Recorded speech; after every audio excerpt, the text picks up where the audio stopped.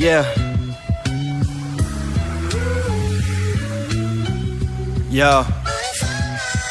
The lion from Zion has been sitting passenger in my scion, occasionally letting him take the wheel, trying to form an alliance, counseling for some guidance within the confines of defiance, inadvertent appliance, consequences of many bygones. The scion says this really shouldn't be possible. Luckily, I haven't questioned it for a second. The forgiveness and my repentance has me in dead, and if that hasn't been you, then forget it. Every second in my pursuit, you've always followed suit. Sometimes opposing my understanding, but you've always given me what suits. And whenever a trial was coming, you always had me tailored up in a nice suit. Gave me a new pair of shoes to put my best foot forward. Now I have to pay it forward, learning to give back and give back to you. Sending my coordinates amongst the latitude and learning to give gratitude. Learning to observe your magnitude and be patient with bad attitudes.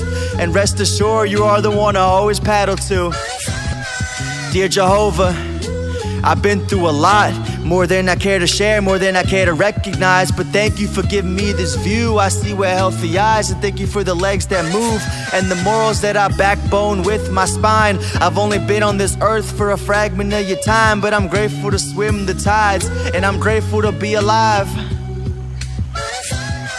Dear summer. There's only about a month left, but I have a whole lot on my bucket list. In August, I'm taking double trips to foreign lands and motherships, and I hope that I can make it. I've been in a good mood. I hope this winter depression doesn't take it. I hope that I smile enough just to make it, and I hope I have enough faith to shake it and know in due time it'll be spring, cause I know the Lord is gracious. Uh. Yeah. I know the Lord is good.